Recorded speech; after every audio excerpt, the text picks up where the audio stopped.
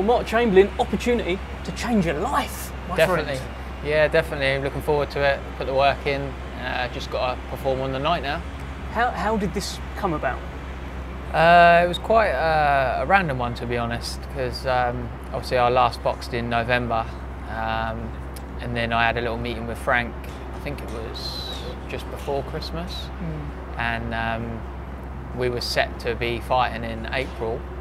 And uh, as far as I was aware, it was then. So I had a little holiday, a little chill out, and then um, yeah, basically um, got a phone call asking uh, if I wanted to fight, and I was like, yeah, no problem. Um, I was actually out for a works do. This was before Christmas um, on a just like a meal, and uh, I was on my way home, and Frank rang me. It was like half past nine, and um, I believe they was out in Saudi at the time when they had the show on the 23rd of right, December, yeah, I the think. day of reckoning. Yeah. So I thought, he's ringing me at 9.30, they're like three or four hours ahead, so what's going on? Like, who's talking about me? And um, yeah, Frank rang me, he said, Mark, I've got an opportunity here. I'll let His Excellency tell you. And he, he put me on the phone, and um, yeah, he just, I couldn't believe it. He just said, Mark, do you want to fight on the uh, 8th of March in Riyadh? I said, yeah, no problem, sign me up. And uh, it sort of went from then, really. So yeah. What what fight do you think he's seen of you where he's thought, I like this guy? I don't know. Um, like I say, they, they was out in Riyadh at the time, obviously talking about me. I think um, Turk, Turk was like, I like Chamberlain, and I think Frank didn't quite click. He was like, well, I manage Chamberlain. This could be made quite easily. And then obviously they've made the phone call and they realised that they were talking about me. So yeah, It's pretty good going. yeah, definitely. So, mate, mate, look, maybe it was that last fight, your, your fight with Artom Ramlavs, where actually it was a bit of a blood and guts war at times, right? Yeah, I mean, I don't know if it would have been that because obviously, like my performance wasn't great. Obviously, everyone has an off night. Obviously, But I got, you I got the win. in the last round. Yeah, I got the win, and then the stoppage was like the cherry on top, as such, Yeah, if you yeah. want to say. Um, but yeah, we made a, a, a few mistakes in that fight, made it more scrappy and hard work than what it should have been. But the main thing was we got the win, Mm-hmm. and obviously I'm, I'm I'm turning head somewhere along the line, so just got to keep doing what I'm doing.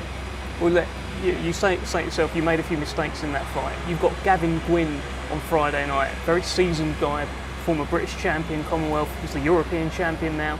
If you make those same mistakes you made in your last fight, how, how are you going to get on? Yeah, I mean, if I make them mistakes, it's going to cost me the fight. It's as simple as that. So we uh, went back to the drawing board in the gym and um, been working on loads of things, and I'm pretty certain that we'll get the job done on Friday night. What, what do you think of him? Gavin, yeah, I've got nothing bad to say about him. He's, as far as I'm aware, he's, he, he hasn't said nothing bad about me. Do you know what I mean? I respect every fighter that gets in the ring. Obviously, he's a, he's a good fighter as well with what he's won. He, he hasn't done it the easy way. He's had a, had a few hard fights. Um, but yeah, I believe my time is now. Is it about that? Because you're you're eight years younger than him. Neil. Like actually, he's going to be 34 very soon as well. Is this just a case of timing?